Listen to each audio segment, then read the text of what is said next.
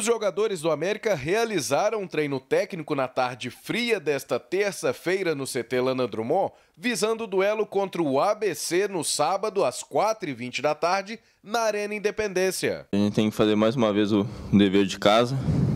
A gente foi, foi fora agora, tentou buscar o resu resultado.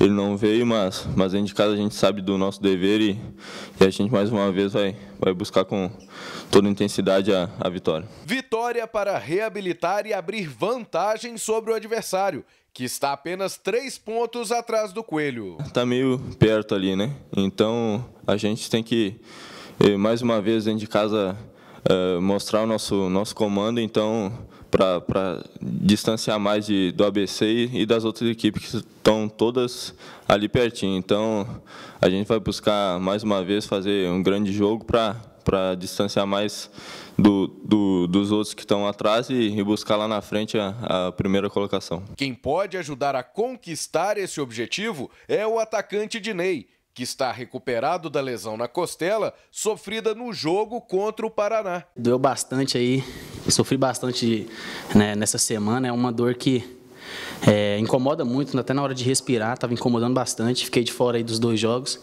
mas agora eu estou 100% recuperado, graças a Deus estou de volta. A gente vê que o professor está tentando algumas, algumas formações aí, né?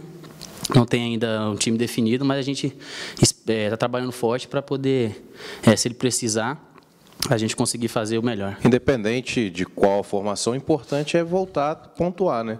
Os três pontos dentro de casa e manter a invencibilidade. Né? É nisso que a gente está pensando, só pensa nos três pontos, a gente não pensa nem em empatar, né? Claro, respeitando o time, a equipe do ABC, mas a gente em casa, a gente tem que fazer o nosso papel de casa.